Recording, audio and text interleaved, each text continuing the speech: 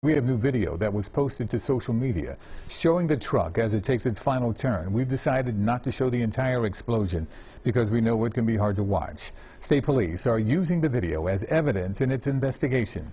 In the video, you see the truck driving down the ramp. We've highlighted the truck for you. You see the truck disappear out of the camera's view just before a fireball appears. Again, we've frozen the video moments before the full explosion occurs.